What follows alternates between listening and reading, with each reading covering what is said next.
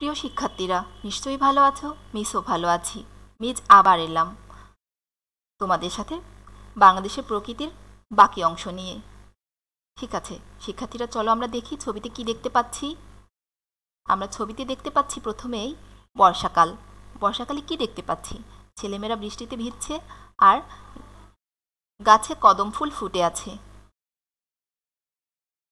তারপরে আমরা দেখতে পাচ্ছি শরৎকাল। শরৎকালে কি দেখতে পাচ্ছি? নদীর ধারে কাশফুল ফুটে আছে। তারপর আমরা কি দেখতে পাচ্ছি? হেমন্তকাল। হেমন্তকালে কৃষক সোনালি ধান ঘরে তুলছে।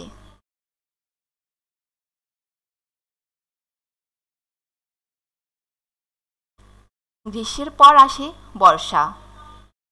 বর্ষায় আবার একেবারে অন্য চেহারা। আকাশ তখন ঘন কালো মেঘে ছেয়ে যায়। বৃষ্টি পড়ছে তো পড়ছেই।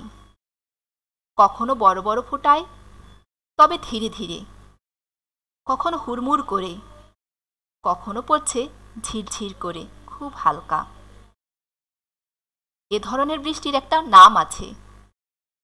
একে বলা হয় ইলশেগুড়ি আর বড় বড় ফোটায় প্রচুর বৃষ্টির নাম মুষলধারে বৃষ্টি। কখনো আবার পরে ঝমঝম বৃষ্টি। নদীতে তখন ঢল নামে। বর্ষায় ফোটে কদম, কেয়া ও আরও নানা ফুল।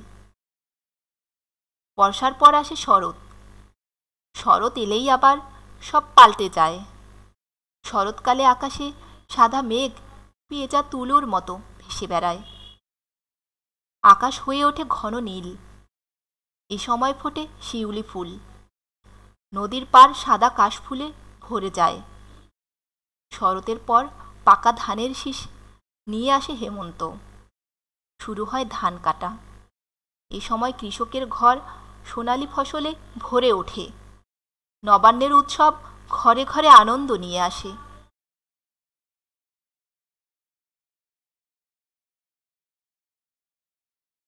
শিক্ষার্থীরা, যুক্তবর্ণগুলো দেখি। যুক্তবর্ণ দিয়ে গঠিত শব্দগুলো পড়ি ও লিখি। বৃষ্টি, নবান্ন, আনন্দ। ট দেখি এটিকে ভেঙে কীভাবে লেখা যায়? স যোগ ট। নতুন শব্দ, সৃষ্টি, রাষ্ট্র। নবান্ন। নয় ন নয় নকে ভেঙে কীভাবে লেখা যায়? ন যোগ ন। নতুন শব্দ, একান্ন, আটান্ন। আনন্দ। নয় দ নয় দকে ভেঙে লেখা যায়, দ যোগ ন। নতুন শব্দ, সুন্দর, বন্দর। শিক্ষার্থীরা। শব্দগুলো পাঠ থেকে খুঁজে বের করি, অর্থ বলি এবং শব্দ দিয়ে বাক্য তৈরি করি। ইলশেগুড়ি মুসলধারে পেজা তুলো, পার, সোনালি, নবান্ন। ইলশেগুড়ি ইলশেগুড়ি অর্থ হালকা ঝিরঝিরে বৃষ্টি। ইলশেগুড়ি বৃষ্টি দেখতে বেশ ভালো লাগে। মুসলধারে মুসলধারে শব্দের অর্থ বড় বড় ফোটায় বৃষ্টি। মুসলধারে বৃষ্টি হলে ভিজতে খুব ভালো লাগে। পেজা তুলো। পেজা তুলো অর্থ তুলো ধুনে বা টেনে আশ বের করা। শরৎকালে আকাশে মেঘগুলো পেজা তুলোর মতো ভেসে বেড়ায়। পার পার অর্থ কিনারা। শরৎকালে নদীর পারে কাশফুল ফোটে। সোনালি সোনালি অর্থ স্বর্ণ, স্বর্ণবর্ণের। হেমন্তকালে ধানের রং সোনালি হয়। নবান্ন নবান্ন অর্থ নতুন ধান কাটার উৎসব। হেমন্তে নবান্ন উৎসব হয়। শিক্ষার্থীরা, আমরা এবার ডান দিকের শব্দগুলো বেছে সঠিক শব্দটি নিয়ে ফাঁকা জায়গায় বসাই। তাহলে দেখি, এক, নদীতে তখন ড্যাশ নামে। ঢল। শিক্ষার্থী, তাহলে বাক্যটি আরেকবার পড়ি। নদীতে তখন ঢল নামে। দুই, বর্ষায় ড্যাশ কালো মেঘে ছেয়ে যায়। আকাশ। তাহলে বাক্যটি আরেকবার পড়ি। বর্ষায় আকাশ কালো মেঘে ছেয়ে যায়। শরৎকালে নদীর পার ড্যাশ ভরে যায়। শিক্ষার্থীরা, কি হবে বলো দেখি? শরৎকালে নদীর পার হ্যাঁ কাশ ফুলে। তাহলে শিক্ষার্থীরা, চলো আরেকবার পড়ি। শরৎকালে নদীর পার কাশ ফুলে ভরে যায়। চার, বর্ষায় ফোটে ড্যাশ নানা ফুল। কেয়া, কদম ও আরও। তাহলে শিক্ষার্থীরা, বাক্যটি আরেকবার পড়ি। বর্ষায় ফোটে কদম কেয়া ও আরও নানা ফুল। পাঁচ, নবান্নের উৎসবে, উৎসব ঘরে ঘরে ড্যাশ নিয়ে আসে। আনন্দ। শিক্ষার্থীরা, তাহলে বাক্যটি আরেকবার পড়ি। নবান্নের উৎসব ঘরে ঘরে আনন্দ নিয়ে আসে। ছয়, হেমন্ত ড্যাশ ঋতু। সোনালি ধানের। শিক্ষার্থীরা, চলো তাহলে বাক্যটি আরেকবার পড়ি। হেমন্ত সোনালি ধানের ঋতু। শিক্ষার্থীরা, আমরা এবার প্রশ্নগুলো পড়ি ও উত্তর বলি এবং লিখি। ক। বর্ষায় আকাশের অবস্থা কেমন হয়? বর্ষায় আকাশ ঘন কালো মেঘে ছেয়ে যায়। খ। বৃষ্টির ফোঁটাগুলো কেমন থাকে? বৃষ্টির ফোঁটাগুলো বড় বড় হয়ে থাকে। গ। বর্ষায় কোন কোন ফুল ফোটে? কেয়া, কদম ও আরও বিভিন্ন রকমের ফুল ফোটে। ঘ। ইলশেগুড়ি বৃষ্টি কাকে বলে? কখনো হুড়মুড় করে বৃষ্টি পড়ে, কখনো বা বড় বড় ফোঁটায় বৃষ্টি পড়ে, কখনো বা ঝিরঝির করে হালকা বৃষ্টি। এই বৃষ্টির নাম হলো ইলশেগুড়ি বৃষ্টি। কুঁয়ো বর্ষায় নদীতে কি নামে? বর্ষায় নদীতে ঢল নামে। চ, হেমন্ত কেমন ঋতু? হেমন্ত সোনালি ধানের ঋতু। ছ, শরৎকালে আকাশের মেঘগুলো কিসের মতো ভেসে বেড়ায়? শরৎকালে আকাশে মেঘগুলো পেঁজার তুলোর মতো ভেসে বেড়ায়। শিক্ষার্থীরা আমরা এবার কি দেখতে পাচ্ছি? কি? শীতকালের কিছু দৃশ্য। এবার কি দেখতে পাচ্ছি? বসন্তকাল। তাহলে চলো আমরা ছবিগুলো আরেকবার দেখি। এখানে আমরা দেখতে পাচ্ছি শীতের আমেজে গাছে খেজুরের রস সংগ্রহের জন্য কলস বেঁধে দেয়া আর গ্রামের লোক শীতের কাপড় পরে আছে। এখানে দেখতে পাচ্ছি গ্রামে পিঠাপুলি বানানোর ধুম পড়ে গেছে।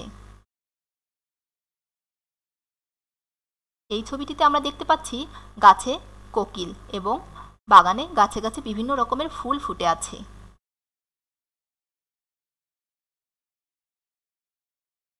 হেমন্তের শেষ দিকে শীতের আগমন টের পাওয়া যায়। তখন ভোরবেলায় একটু একটু শীত লাগে। এ সময় উত্তরে হাওয়া বয়। উত্তর দিক থেকে আসা এ হাওয়া খুব ঠান্ডা। শীতের রাতে লেপ কাঁথা গায়ে দিয়ে ঘুমোতে হয়। দিনের বেলায়ও গরম কাপড় পরতে হয়। শীতে খেজুরের রস দিয়ে তৈরি হয় নানা পিঠাপুলি। গ্রামে পিঠা পায়েস তৈরির ধুম পড়ে। যেই শেষ হলো এই ঋতু, অমনি শুরু হয় বসন্তকাল।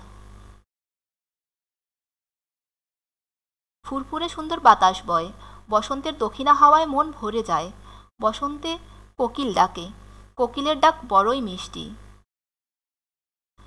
গাছে গাছে জেগে ওঠে নতুন সবুজ পাতা। নানা রঙের ফুলে ভরে যায় গাছ। বাংলাদেশের এই ছয়টি ঋতু এভাবে আসে যায়। ঋতুর এত বৈচিত্র্য, সুন্দর রূপ পৃথিবীর আর কোথাও নেই। শিক্ষার্থীরা, আমরা এখন যুক্তবর্ণগুলো দেখি। যুক্তবর্ণ দিয়ে গঠিত শব্দগুলো পড়ি ও লিখি। উত্তর, ঠান্ডা। তয় ত এটিকে ভেঙে লেখা যায় ত যোগ ত। নতুন শব্দ, একাত্তর, মরণ, মরণোত্তর। ঠান্ডা নয় ড এটিকে ভেঙে লেখা যায় ন যোগ ড। নতুন শব্দ, মেরুদণ্ড, প্রচণ্ড। শব্দগুলো পাঠ থেকে খুঁজে বের করি, অর্থ বলি এবং শব্দ দিয়ে বাক্য তৈরি করি। আগমন, বিচিত্র, পিঠাপুলি, ফুরফুরে। আগমন শব্দের অর্থ আশা। গ্রীষ্মের পরেই আগমন ঘটে বর্ষার। বিচিত্র। নানা বর্ণ বিশিষ্ট বা বিস্ময়কর। আমাদের ষড়ঋতু বিচিত্র রকমের। পিঠাপুলি। পিঠাপুলি অর্থ বিভিন্ন রকমের পুলি পিঠা। শীতে গ্রামে পিঠাপুলির ধুম পড়ে। ফুরফুরে। ফুরফুরে অর্থ মৃদু বায়ু প্রবাহ বসন্তকালে ফুরফুরে বাতাস বয়।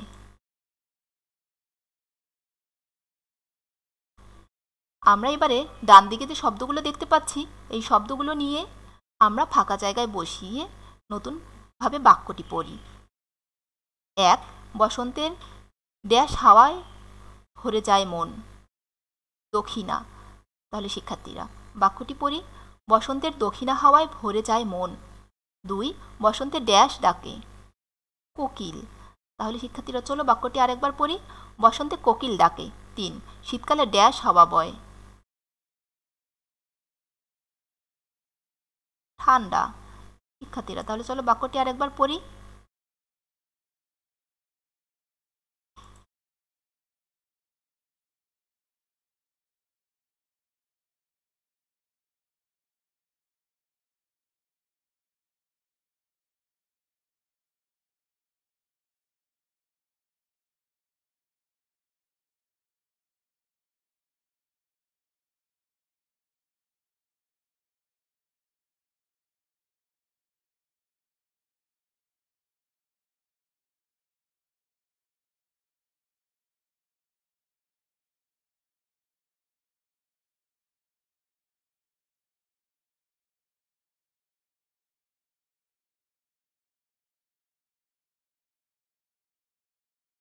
শীতকালে ঠান্ডা হাওয়া বয়।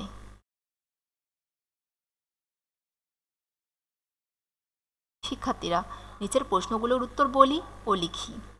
ক, পৌষ মাঘ মাসে কেমন হাওয়া বয়? পৌষ মাঘ মাসে উত্তরে হাওয়া বয়। খ, খেজুরের রস দিয়ে কি তৈরি করা হয়? খেজুরের রস দিয়ে পিঠা পায়েস তৈরি করা হয়। গ, দক্ষিণ দিক থেকে ফুরফুরে বাতাস বয় কখন?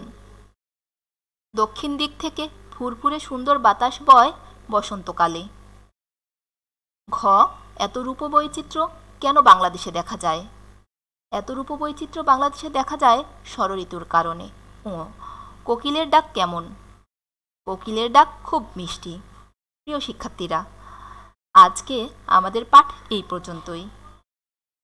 আমাদের পরবর্তী পাঠ নিয়ে আসব আমরা পরবর্তী ক্লাসে সেই পর্যন্ত তোমরা ভালো থেকো, সুস্থ থেকো। আল্লাহ হাফেজ।